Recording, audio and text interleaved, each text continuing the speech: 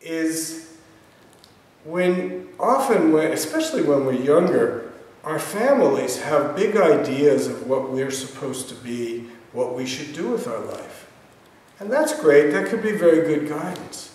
But no matter what anybody else tells us, we're the ones who have to do it. So, like in my family, as I should have been a lawyer. But I didn't want to be a lawyer. And had I gone that route, it might have made other people happy, but it would have been at odds with something more real for me.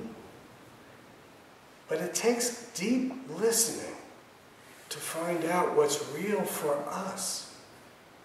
And often we have to find a way to cut through the thicket of what other people expect of us, what other people's ideas, values, and hopes are for us to be able to connect with our own.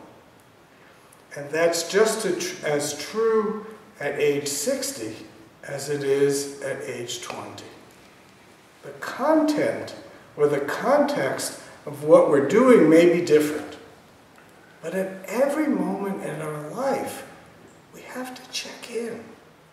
What is it really? You know, so many things that we think we know are really just things that other people have told us. We don't really have a lot of independent understanding. Like, to me, a good example is climate change. Science and scientists are clearly telling us that there's a big problem. And I'll even say, I trust that those scientists know what they're talking about. So they're giving us good information. Me, I have no way of knowing. All I can do is trust the sources of my information. And that's what we all do. We make up our own opinions based on what sources of information that we trust. It can't be helped. That's not a bad thing. But I think it's very important for us to recognize where these ideas come from. Sometimes in my work, I'll say something, and then I hear this voice inside that says, Really? How do you know that? And often it's a pretty good thing to say. It usually works out all right. But there's always this observer who's listening and who's wondering and, and is, is looking into really? Sometimes a really good question to ask yourself is really? How do you know that? And it can be quite illuminating.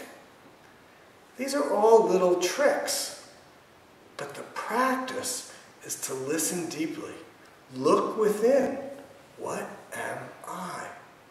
That's the Zen way of saying it.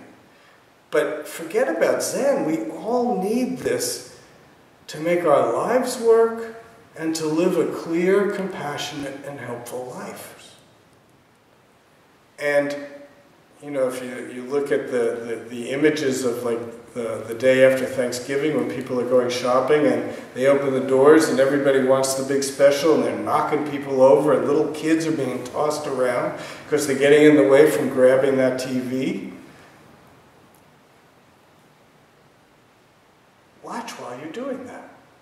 I'm not even telling you not to do it, but watch and wonder Really?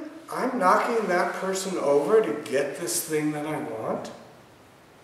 I'm stealing this either feeling or thing from another so I can be happy?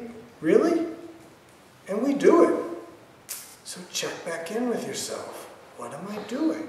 That's what Gary was saying. What am I doing right now? But that's not just looking outward. A lot of it is looking inward and checking in with our motivation and our direction. And that's what we do here at the Zen Center.